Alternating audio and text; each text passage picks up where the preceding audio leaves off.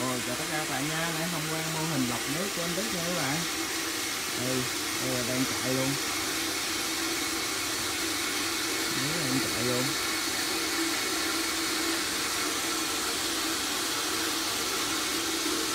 Đang chạy và đang thi công ở phía trước luôn.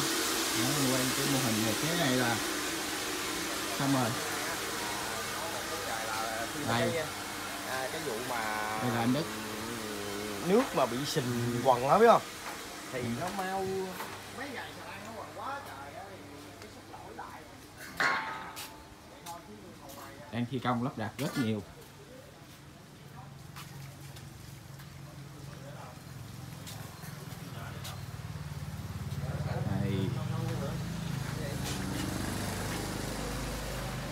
Cái cái lọc cái một từ bự là thấy hết chỗ rồi đó để ngoài tại vì toàn đi uống nước nhỏ quá ở đây thì nó mắc mấy cái kiểu rồi.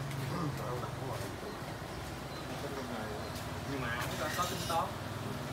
Thì cũng bắt cái mũi từ nhỏ từ cái nắp của đúng rồi chúng ta nghĩ là nhiều khi nó nằm ở ngoài nằm ngoài nhiều khi nằm ở ngoài luôn.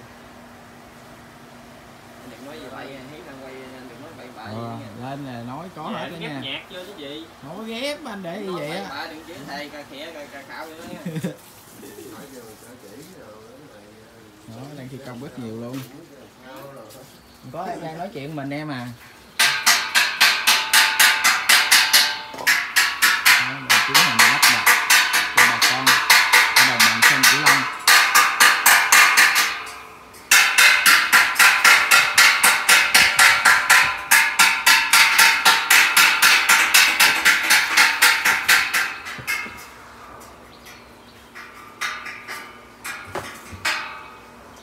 đang làm ngày làm đêm làm đêm luôn mà không đủ tiến độ.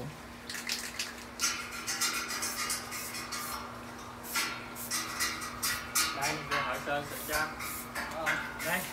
Thợ Sơn hay máy Thằng Thợ Hàng, cô quay máy